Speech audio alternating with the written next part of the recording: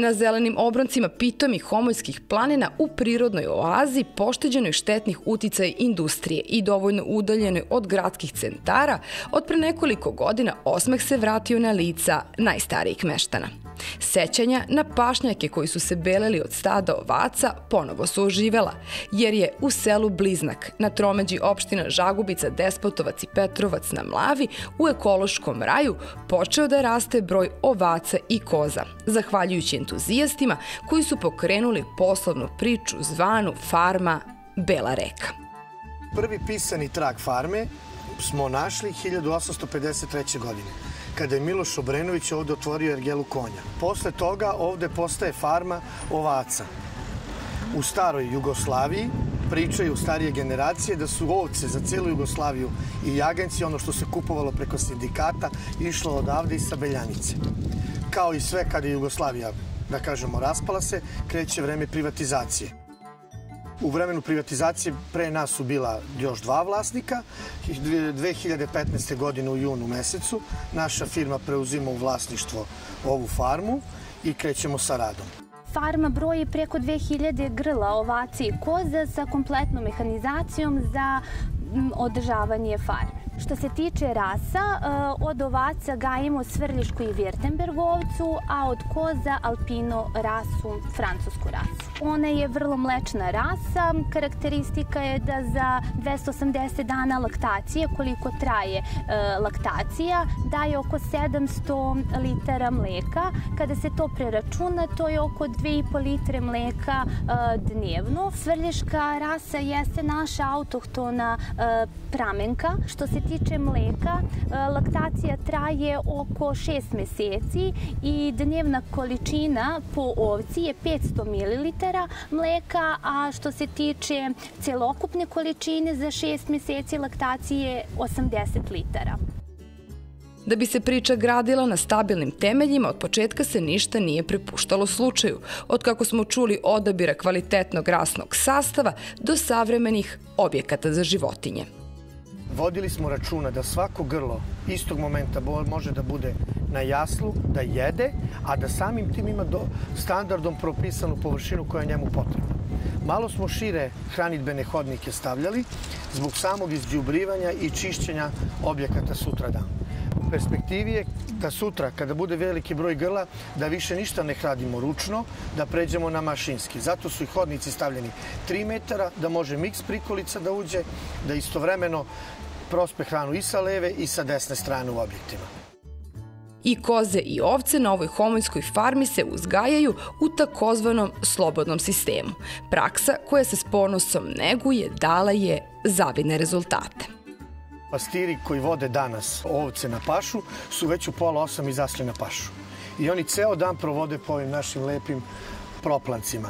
Imamo pet pojla koja su napravljena u prirodi. Oni su na paši do 10-11, pobegnu u hladovinu, gde ovce imaju vodu da piju i tu, kako narodno ovčari kažu, planduju. Do nekih 3-4 sata, dok se malo smanji sunce i onda od 3-4 sata su do pola 7-7, u zavisnosti od vremenskih uslova na paši. Kod koza je to malo drugačije, jer je kod koza još uvek muža u toku. Jutarnja i večernja.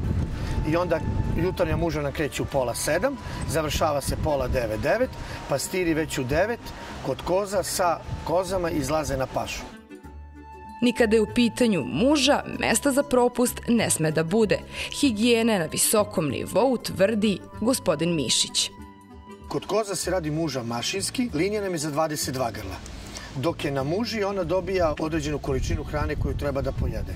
Muža može da traje i brže, ali traje 7 minuta ili 6 minuta 7 treba da pojede tu količinu hrane koju je ona dobila. I sistema za mužu, kroz liniju, mleko ne dolazi u kontakt sa vazduhom ničim, ide pravo u laktofriz koji je instaliran na mobilnom, na jednom vozilu. To kad se završi muža, otkači se samo crevo, ide do mlekare, zakači se crevo i pravo ide u duplikator. Higijena je maksimalna.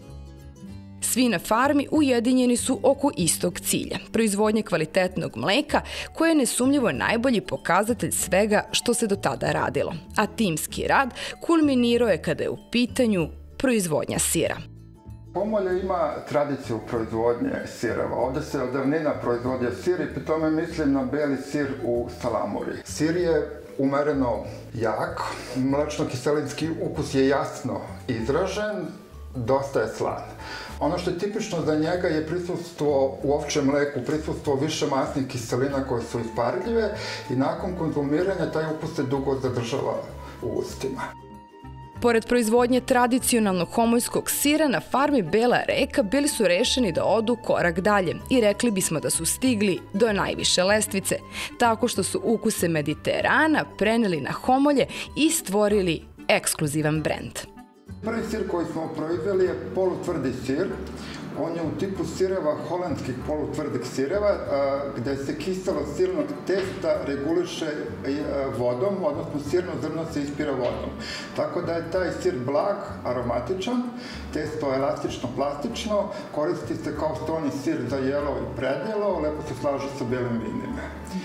Druga dva sira od kozijeg meka pripadaju grupi tvrdih i ekstra tvrdih sireva i njihova proizvodnja je oslanjena na proizvodnju grčkih tvrdih sireva tipa graviera ili italijanski sir od ovčeg mleka pecorino romane. Ovi sirevi su dosta jaki, delikatni, prodorni, ovaj, u njima se može naći aroma rastopljenog putera, sena, a, slažu se uz crvena vina. Do sada su svi proizvodi plasirani kroz nekoliko beogradskih restorana, a cilj da se tržište dalje širi pratit će i povećanje broja grla na farmi, do 3000 muznih ovaca i 1400 koza. A istovremeno se uplovljavaju turističke vode. U srcu netaknute prirode na raspolaganju su smešteni kapaciteti za sve koji bi da uživaju u gastronomskim specijalitetima i miru i tišini homojskih planina. Vrata su otvorena, kažu nam domaćini iz Bele reke, pa izvolite.